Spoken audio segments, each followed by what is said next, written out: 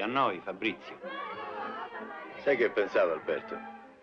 La frequenza di questi matrimoni tra cugini non favorisce la bellezza della razza. Eccole là. Sembrano scimmiette pronte ad arrampicarsi in cima ai lampadari. E da lì, sospese per le code, dondolarsi esibendo i deretani.